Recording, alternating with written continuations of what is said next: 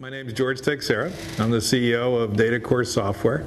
I've had the pleasure of running the company now for literally 13 years in February.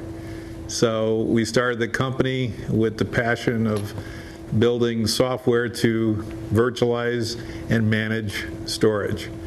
And we continue on that charter. And SANsymphony-V really represents the culmination not only of our passion and our vision, but frankly, out of 6,000 customers around the world and you know tens of thousands of deployments, and the lessons that we've learned from that, and how we folded that in to make the job of storage administrators and making storage a better proposition.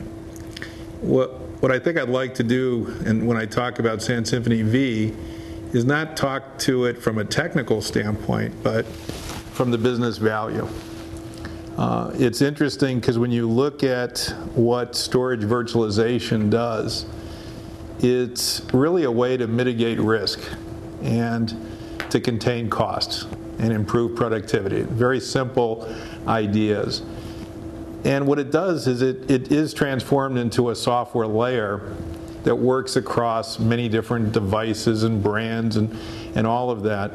But you know, even the name, SANsymphony-V, let me spend a second on that. If you think about the analogy, you've got different musical instruments. So think about today's storage world. You've got different vendors selling different brands. You've got different storage devices of different types. You need intelligent software that can work across that and, in effect, turn it into a symphony. That's what DataCore SANsymphony does and it does it with software. And software is, is key. Software is soft. it's agile, it's portable, and therefore it can work on different platforms. In fact, DataCore SANsymphony-V can even run on a VM. It can migrate across to different platforms. It can co-reside with hypervisors.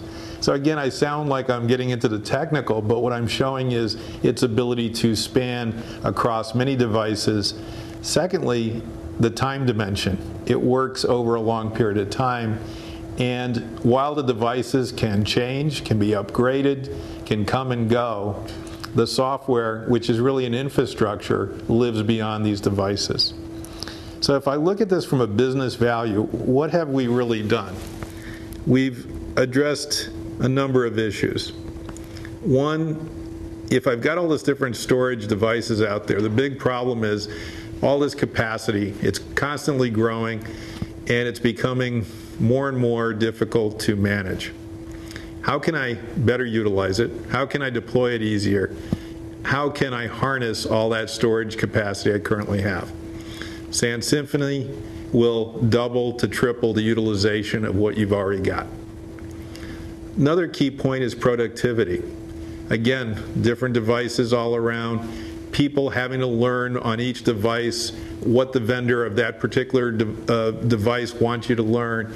Instead, with SANsymphony, it's got the dimension of working infrastructure wide. So here is software that lets you manage all these different devices or different kinds and basically provide productivity across the board. In terms of performance, the applications that are running, it's all about how fast they're running. Slowdowns is less productivity, it's downtime, it's those kind of issues. What SANsymphony does is, one, it accelerates the performance, so in effect you get twice the effort in the same given amount of time. That's money. Uh, in addition to that, you lower the downtime. The SANsymphony-V is really constructed to be fault tolerant nonstop.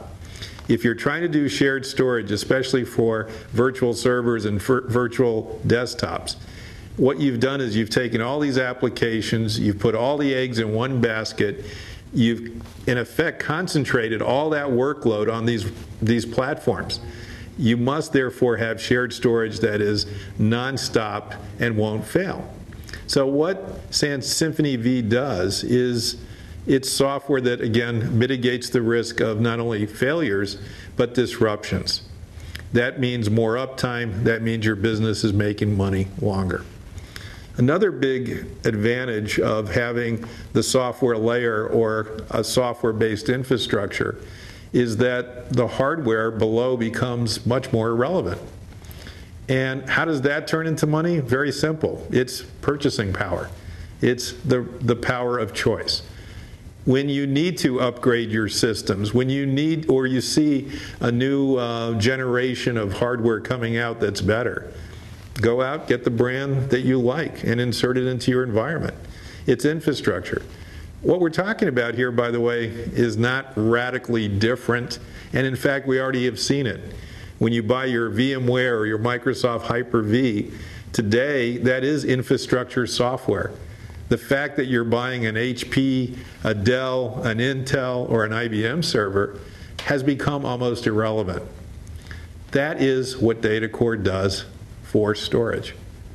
And that portability allows that software to live where it needs to live and to be used and endure over periods of time such that you're getting the payback, the better return on investment, the better utilization, the better productivity, and the better performance across all your storage assets. So, bottom line, SANsymphony-V, while I'm excited about all the technology, it's about the money that you're saving and about the productivity that you're enhancing.